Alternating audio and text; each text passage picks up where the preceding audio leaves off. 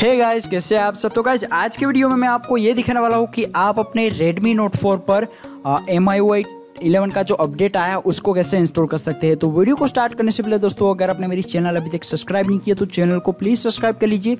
तो चलिए friends start करते हैं मेरा वीडियो तो सबसे पहले दोस्तों, यहाँ पर मैं आपको दिखा देता हूँ रेडमी नोट फोर पर एम आई एलेवन को मैंने इंस्टॉल कर लिया है। ये दोस्तों ऑफिशियल अपडेट नहीं है, ये एक जी एस इमेज है, जिसको आप अपने मोबाइल पर इंस्टॉल कर सकते हैं। तो यहाँ पर आपको nine point nine point nine M I का वर्जन मिल रहा है। साथ ही साथ दोस्तों, ये एंड्रॉइड पाई बेस्ड रोम है। तो सबसे पहले इसको करने के लिए आपको कुछ फाइलें को डाउनलोड करना पड़ेगा, जिसके लिंक्स वगैरह आपको डिस्क्रिप्शन में मिल जाएँगी। तो इन तीनों फाइलों को आपने डाउनलोड कर लेना है। बस दोस्तों, आपको इतना ही करना है और आपको सिंपली अपना जो डेटा है उसको बैकअप करके अपना जो फ़ोन है उसको रिबूट टू रिकवरी कर देना है। तो यहाँ पर आ, मैं ऑरेंज फॉक्स रिकवरी को यूज़ कर रहा हूँ। आप चाहे तो कोई सी भी ट्रिपल सपोर्टेड रिकवरी को यूज़ कर सकते हैं। तो सबसे पहले आपको यहाँ पर क्या करना है। आपको वाइप पे क्लिक करना है। यहाँ पर डेलविक सिस्टम डेटा इन सभी को अपने वाइप कर देना है। यहाँ पर दोस्तों आपको ख्याल रखना है कि इंटरनल स्टोरेज को आपने वाइप नहीं करना वरना आपका सारा डेटा है वो चला जाएगा। तो इतना हो जाने के बाद अभी आपको क्या करना है? अभी हमने वेंडर की जो फ़ाइल है उसको सबसे पहले इंस्टॉल कर लेना है। तो ये मीडो वाली जो सबसे पहली फ़ाइल है, उसको आपने यहाँ से इंस्टॉल कर लेना है। जैसे ही ये इंस्टॉल हो जाता है, उसके बाद आपको दूसरी फाइलों को इंस्टॉल करना रहेगा। तो ये फ़ाइल इंस्टॉल हो गई। अभी आपको क्या करना है? अभी आपको जी फ़ाइल है, उसको सिस्टम पार्टीशन के अंदर इसको फ्लैश कर देना है।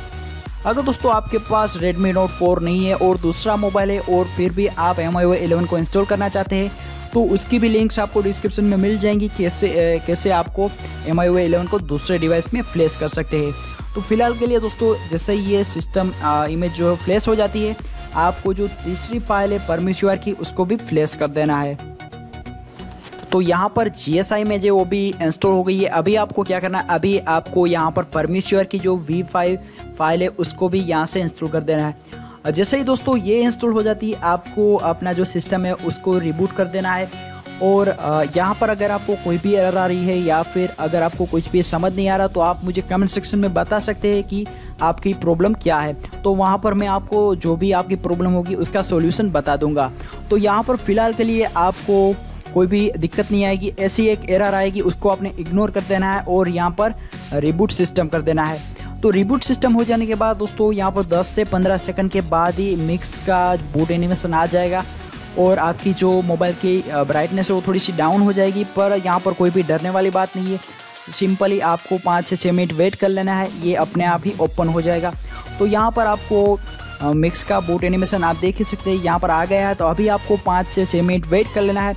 अगर यहाँ पर मिक्स का एनिमेशन नहीं आ रहा बूट एनिमेशन कोई भी यहाँ पर नहीं आ रहा तो इसका मतलब ये है कि आपने ये स्टेप जो है वो ठीक तरह से फॉलो नहीं किया तो आपको उसको वापस से दोहरा लेना है। तो यहाँ पर आप देख सकते हैं ब्राइटनेस है वो पूरी कम हो जाएगी, पर जैसे ये रिस्टार्ट होगा और बूटअप हो जाएगा, ये अपने आप ही ठीक हो जाएगा।